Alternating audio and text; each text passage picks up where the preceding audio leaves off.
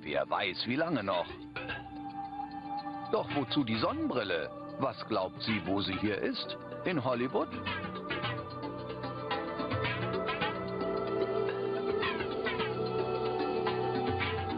Der Magier öffnet die Klappen. Und sie ist sich trotz ihrer glamourösen Aufmachung nicht zu fein, hineinzusteigen. Allerdings ist es ganz schön eng. Wenn er die Klappen schließt, erkennt man, dass der Schrank in Wahrheit aus drei Kästen besteht, die aufeinander stehen. Ein letztes Hollywood-Lächeln und auch die letzte Tür wird verschlossen. In der unteren Box ist ein Loch, durch das ihre Fußspitze ragt. So kann das Publikum die Assistentin während des gesamten Tricks im Auge behalten. Ein letztes Mal prüft er die verschlossenen Türen. Ist sie kitzlig? Jedenfalls ist sie noch da. Nun wird es magisch. Nicht ganz mühelos schiebt der Magier den unteren Kasten zur Seite. Immerhin werden dabei ihre Beine abgetrennt. Armes Ding. Gut, sie war etwas eingebildet, doch das hat sie auch wieder nicht verdient. Immerhin bewegt sie den Fuß noch, also scheint noch nicht alles verloren. Als nächstes entfernt der Magier den oberen Kasten.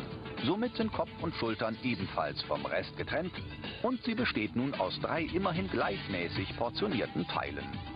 Der rote Kasten kommt erstmal auf den Boden. Der Magier ist sich noch unschlüssig.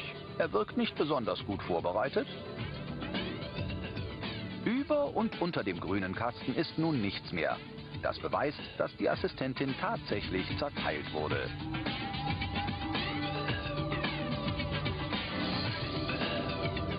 Stellt er den roten auf den blauen Kasten. Da gehört er nicht hin. Aber mal sehen, wohin das Ganze führt.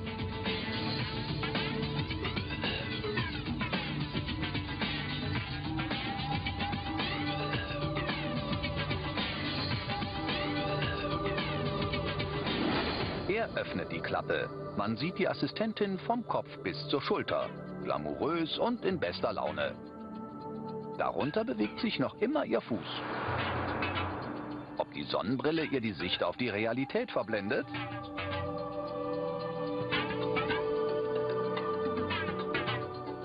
Als nächstes stellt der Magier den roten Kasten zurück, aber nicht an die richtige Stelle.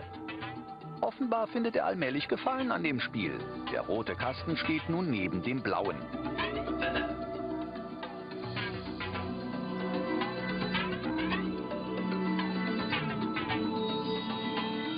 Man beachte den sich noch immer bewegenden Fuß. Und im roten Kasten steckt noch immer die gut gelaunte Sonnenbrillenträgerin. Nun ist es aber genug. Der Magier stellt nun die alte Ordnung wieder her. Der rote Kasten kommt zurück auf den grünen. Jawohl, genau da gehört er hin.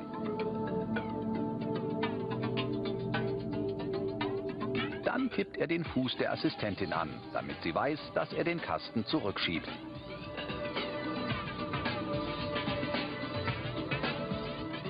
Jetzt ist wieder alles wie am Anfang.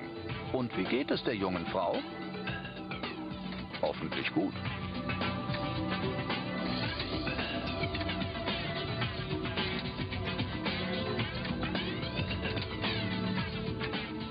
Die Klappen sind entriegelt.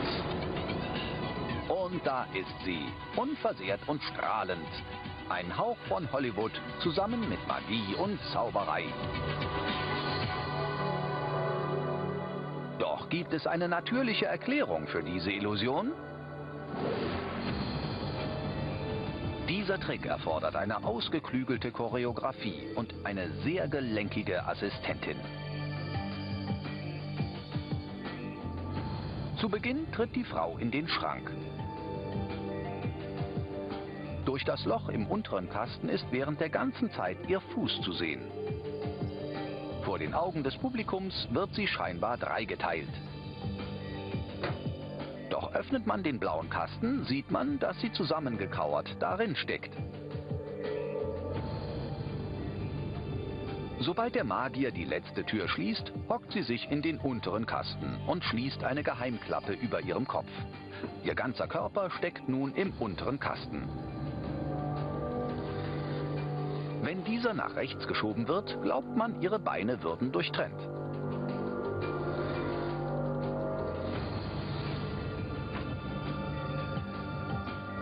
Doch wie gelangen ihr Kopf und die Schultern in den roten Kasten? Ganz einfach.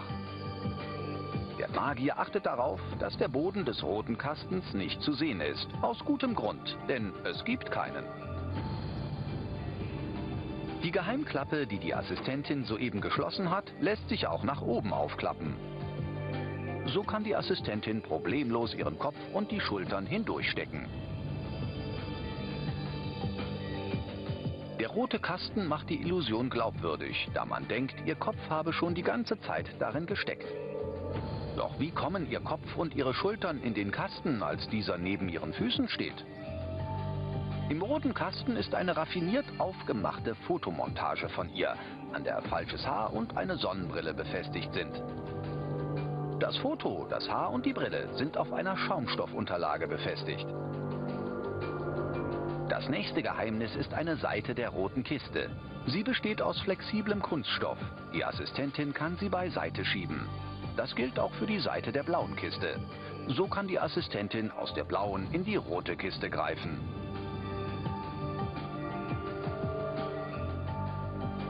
Sobald die rote Kiste neben der blauen steht, greift die Dame hinein, entfernt eine Blende und lässt ihr Fotodouble herunterschnappen. Das Haar, die Brille und die rechte Hand reichen aus, um das Publikum von der Echtheit zu überzeugen. Die Klappe wird deshalb nur kurz geöffnet und so ist die Illusion perfekt. Der Magier stellt die Kästen wieder in der richtigen Reihenfolge aufeinander. Bevor er die Klappen öffnet, richtet sich die Assistentin auf.